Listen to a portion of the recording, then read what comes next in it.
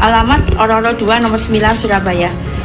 Dengan melalui surat ini memohon maaf yang sebesar-besarnya atas yang pernah atau apa saja yang pernah saya lakukan terhadap Mas Anas Urbaningrum, yaitu di sini saya tegaskan bahwa bukan Mas Anas yang menerima hasil tipuan CPNS tersebut, melainkan Hartoyo dan SBY Bu Anilah yang memerintahkan pada saya untuk mengatakan hal tersebut.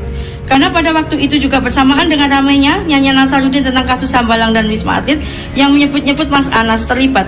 Padahal tidak, karena di awal pengakuan Nasarudin Abraham Samad selaku ketua KPK pada waktu itu, eh, saya diminta oleh Pak SBY menemui di sebuah kamar suite room Hotel Grand Hyatt Jakarta sebenarnya menolak pesanan Pak SBY agar menjadikan Mas Anas Urbaningrum sebagai tersangka.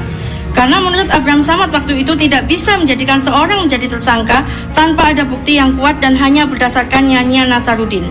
Semua bukti chat BBM, rekaman pembicaraan saya masih saya simpan. Nanti pada saatnya akan saya uh, berikan pada teman-teman ya, lewat kuasa hukum saya. Bahwa benar, saya menjadi bagian atau pelaku yang ikut dalam kriminalisasi Mas Anas Urbaningrum pada kasus Hambalang karena pada waktu itu sayalah yang selalu diperintah Pak SBY dan Bu Ani menjadi perantara pada Pak Abraham Samad dan Bambang W untuk mengantar imbalan berupa US dollar dan rupiah pada Pak Abraham Samad dan Bambang W dan istri muda Abraham Samad.